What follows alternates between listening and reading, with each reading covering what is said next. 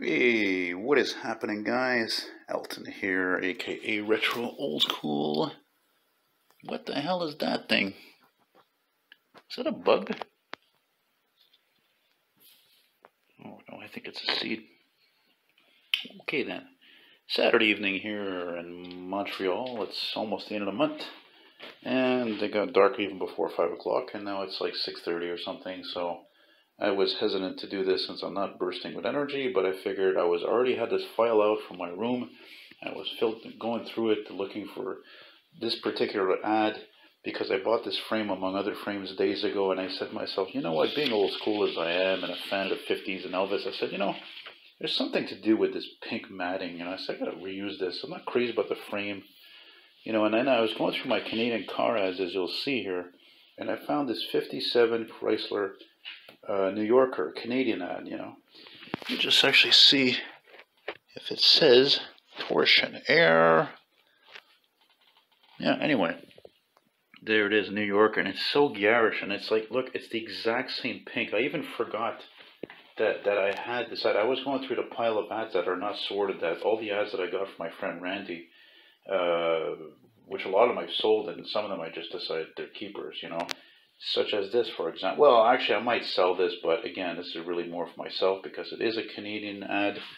And, well, actually, I think it's a Canadian ad. Yeah, it says, see, it says right there Chrysler Corporation of Canada Limited, 1957. You know, I think what I'll do though is I'm gonna, I think I'm gonna paint just this white edge part here, this outer part, uh, silver maybe. I don't know. I'm gonna do something because I find it's missing something. It's missing a little bling, you know.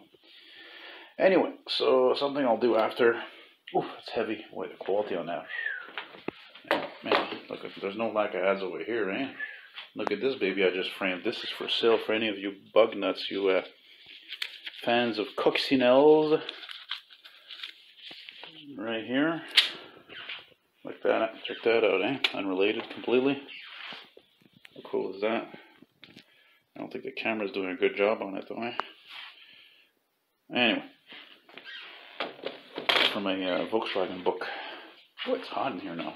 Man, let's uh, take that. I just framed that last night. 56, 56 Buick.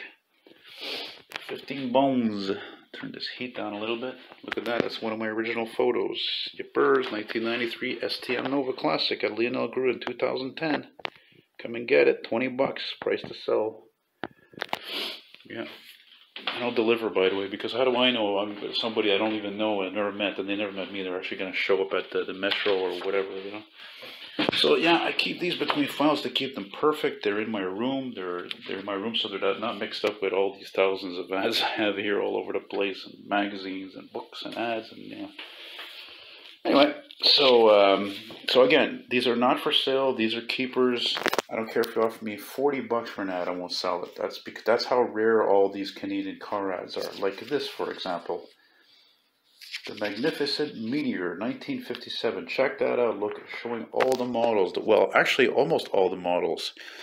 Uh, the the four door sedans, the four door hardtop, the two door sedan, the the Niagara, the Rideau, or as they say more in the rest of Canada, Redo. There's the Rideau top of the line model. Look at that convertible. I even seen one of those.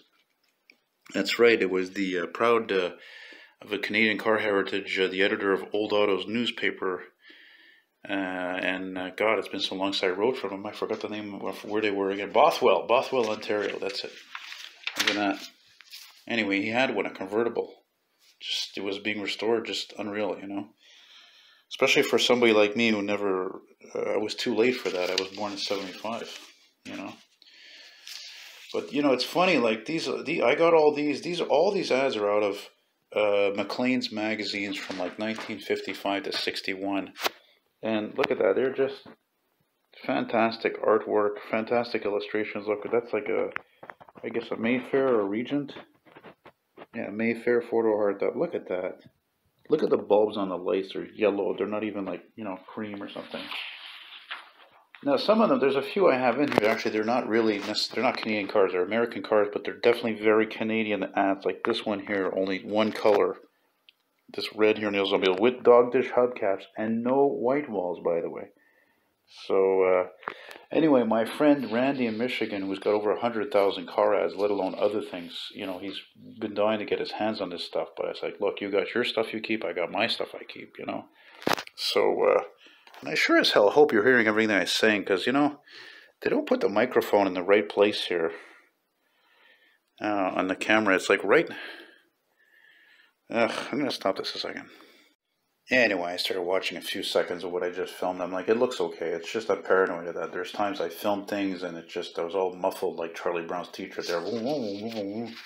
You know what I'm saying? You know, look at a 56 Plymouth uh, Regent, which of course they were known in other places or even here in Canada as a Plodge because the front end was a Plymouth, the rest of it was a Dodge, the sides and the rear end. And again, just like Ford Meteors and Monarchs, they were all uh, models that were invented by their uh, companies to, to compete uh, against each other in Canada because Canadians had a lower income uh, than traditionally than Americans. So there you go. You know, you had the choice between a regular Plymouth, an American Plymouth, or a Canadian Plymouth, which was comparatively cheaper. Same thing with this Meteor. Look at this gorgeous 56 Meteor Rideau sedan Look at that mint, gorgeous. And like I said, I've been I've been buying. I, well, I didn't say, but as you can tell, I've been buying many magazines for many years, and I've never had the the luck of finding so many uh, uh, Canadian car ads in one collection. Uh, everything else was very sporadic, so uh, uh, you can imagine all those magazines. I kept so many other things too that are Canadian ads, not just cars, you know. And then you have one here. Check this out, right? Spark plug ad, Champion. What does it have? A meteor. A meteor redo. Crown Victoria, no less. I just saw a picture of one of these on Facebook. Somebody posted a black and white picture in the 60s, I don't know, 1962, wherever, not there. And look, there's the Monarch. And there, I got a couple of two, or three Monarch ads you're going to see in a moment, too. Yep, there it is, one right there, 1959. Extremely rare cars. I've never even, I've seen one. And I'm sorry to say, it went to frickin' Ontario. I think probably in the 90s, early 2000s. I took a photo of it. Two door hardtop.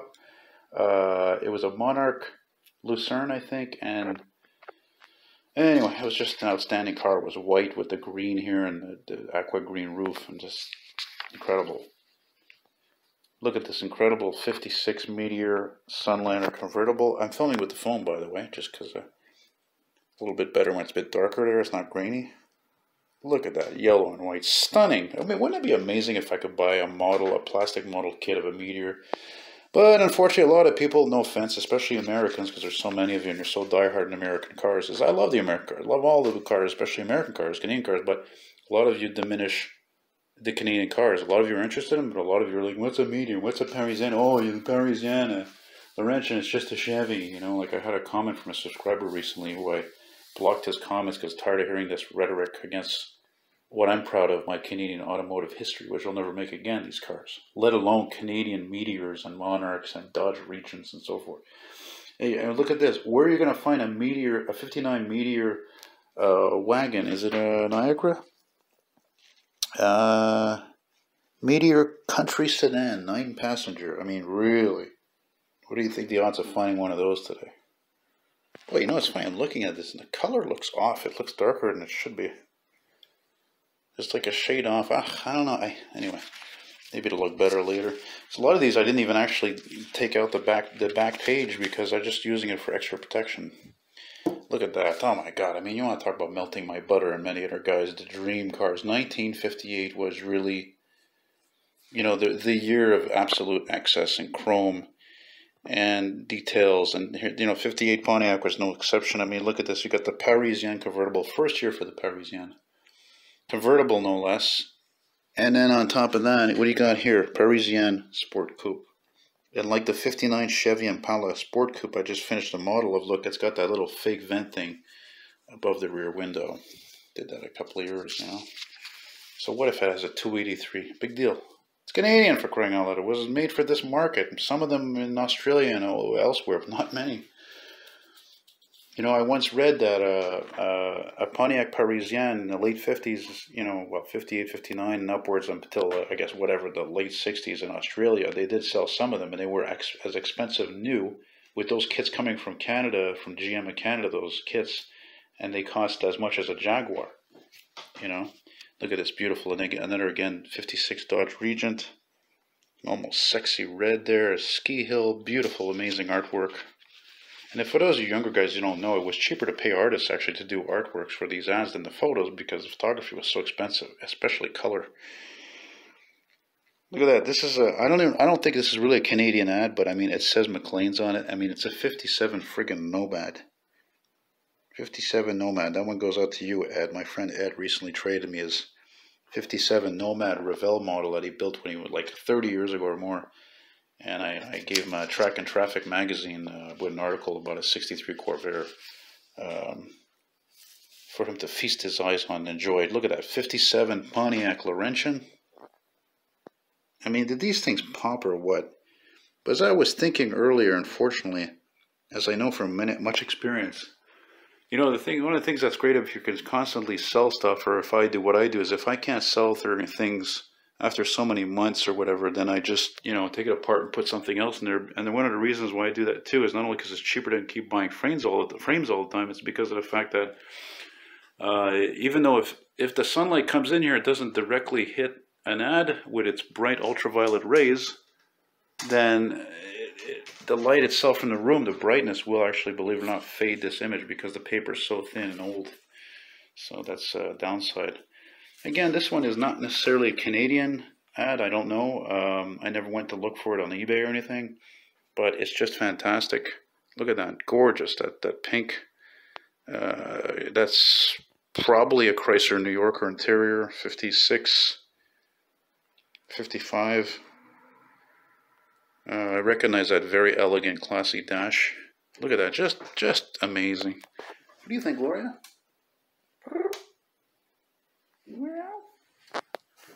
I think Gloria wants food. Okay, what's next here? We're getting closer to the end. I don't have that many of them, as you can imagine. I'm not. I'm only. I'm only 45 years old. You know. Look at this camera. I don't. What is it about cameras in the color green? It shows this thing fucking blue, and it's not blue. It's green, two tone green. Awesome. Again, 57 Plymouth, whereas people call it jokingly Plymouth. Uh, but that's a um, that's a Belvedere. That's funny about that Belvedere in 57, 58 is they had, you know, they were, you know, like this whole styling is exact to like Christine, except that this one here, which is also Belvedere, the, the Christine and you know and so forth, the Fury the Belvedere, it, it, it the two tone continued over here. You know what I mean? Uh, yeah, you know. 61 stunning 61 Pontiac Parisienne. But actually this is more of an, an American ad because I I think um, I have I have the American version of this which of course the American version of the Parisienne is the Bonneville. It's the exact same picture right? And it's just stunning. Look at the interiors. I mean just what a phenomenal time you know? It's uh, you know, I don't own any classic cars because I'm visually impaired. I'm too poor, but the dream is always there to own another one one day, you know? Look at this. They mentioned the Strato Chief and the Laurentian. The Strato Chief being the, the cheapest full-size model. The Laurentian was in between. You know? Look at this here. 56. Look at that, how epic that is. I mean, look at that Ford Monarch sign. Does it get more Canadian than that? If you don't know how to look, know where to look for a good used car, you can buy with confidence, confidence where confidence. You can buy with confidence where you see these signs. And look at that. There's the 56 Monarch. Um, uh, Monarch, uh, well, probably a Richelieu, you know, uh, I guess. Getting closer to the end here damn, like I've said it before, these phones, you know, they make great videos, but they're not, they're annoying to hold for a long time, especially when you're doing something else. Look at this, stunning. I have an American version of this. It's the same ad practically, except the, the Pontiac is red and cream. Look at that, that's amazing. Look, this one is, they made a Canadian. Look, it's written right there in the script, very small, Laurentian. You can barely make it out. Look at that, it's the talk of the test drivers. Just fantastic. Of course, they were boasting the V8 at that time, you know. Um, of course, that's a Canadian model, so it's a, the V8 would be a, a 265 because the 283 came out in 57. And the, the, American one, I can't remember. I think the V8 in those years was a, two, was a 287, if I'm not mistaken. Look at that little beer ad here. You need beer ads? I got tons of them. Let me know what you want. Look at that. 57 Monarch convertible. Yeah, man, with the Ontario plate no less, which is probably photographed in uh, in Toronto. Very nice. Very nice. Check this one out here. Look at that, eh? 57. 57 Monarch differed from the Mercury because the grill was different. Also had that V8 there, the V8 emblem. Yeah, very groovy. And to finish with another Monarch. Look familiar? Oh, it should. Yeah, that's exactly what I painted, except mine in the painting was brown. And then now, of course, I want my friend Scott to see this. He's going to be like gaga over this. He's going to go, hot damn!